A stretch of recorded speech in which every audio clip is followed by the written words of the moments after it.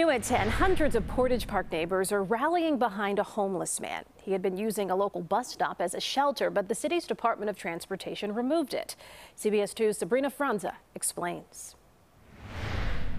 Neighbors call this man the Candy Man, not because he gives out any candy, because his friendship with Stacy Roszak started over a candy bar. I asked him what did he like, and he said sweets and chocolate. So I just kind of Candyman. For years, she and about 400 other neighbors organized on Facebook to make sure the Candyman was taken care of. They don't know his real name. And like Mondays, I'll take, Tuesdays, they'll take. Um, like tonight's me for chicken pot pie. Um, and we all just kind of go together of what he had, like what he wants to eat. His home base was a bus shelter that sits outside Merrimac Park. Then the city's Department of Transportation removed it. Why would you take the only thing that keeps him from the rain or the, the you know, the snow? Just that's the only thing he had.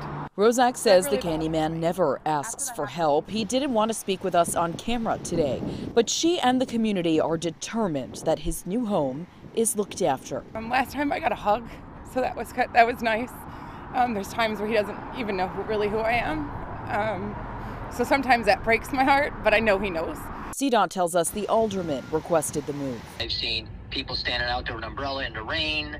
Uh, I see kids waiting out there for, the, for their bus, so it's not right. I have to do what's right by my people, what's right by the neighborhood. Alderman Nicholas Sposato spoke with us over the phone, saying his office had received multiple complaints about the Candyman and that he denied help multiple times when it was offered by the city. I've always asked him if he wanted something. He never says he wants anything. If you ask Roszak, she'll say helping him is not about showing up once. There's a lot of people out that need help, and mental health is a big deal.